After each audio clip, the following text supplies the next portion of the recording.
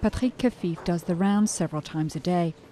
Patrick is in charge of security at the French Film Archives, and he's on the hunt for his number one enemy excessive heat and humidity. If we keep the temperature cold and humidity at around 35%, we'll be able to preserve the film reels for 400 years. The film archives were set up 40 years ago in a converted military bunker to the west of Paris. Its primary mission is to safely store thousands of kilometres of film negatives shot on nitrocellulose.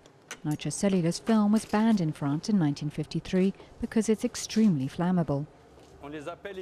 They're called flash films because at a certain temperature and humidity level, they can catch fire by themselves without putting a flame to them. 400 tons of nitrocellulose reels are stored here, along with other films shot on safer acetate or polyester negatives. In total, 100,000 works, some of which date back almost to the start of moving pictures. Many priceless works of art. We were able to find the original negative of The Grand Illusion by Jean Renoir that had been thought lost. It had been stolen during the war by the Germans. It had passed through Berlin and Moscow, and we finally found it in the Cinematheque collection in Toulouse. Some of the films hidden away can only be found here.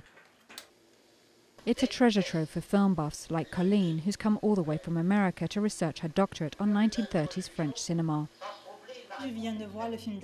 I've just watched the film Dinah the Métisse by Jean Grémillon from 1931-32. You simply can't find it anywhere else. The French Film Archives also show off their precious hoard to the wider public.